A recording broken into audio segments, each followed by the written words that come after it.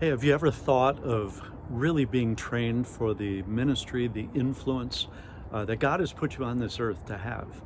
Because every single one of us are called to a sphere of influence. And I think being trained for that is one of the best things you can do, one of the best investments you can make. So Joy's going to tell you a little bit more about that. Yeah, so we're doing this to let you know that we still have spots open for Activate School of Ministry. And we begin on Tuesday, so we're extending our registration because we have more room, but we really would love for you to join us. So if you're that person out there that thought about it, then thought, well, it's too late, so I'm just going to put it on the back burner maybe next year. You still can come this year, and I will promise you, you will not be sorry that you invested the time and the finances to come to this school.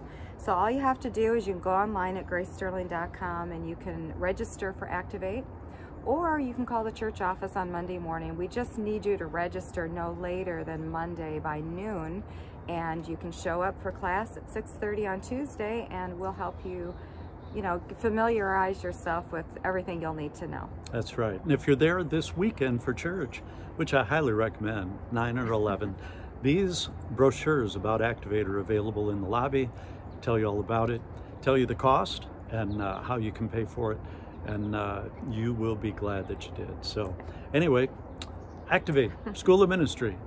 It'll be a great investment, right? Right. Right.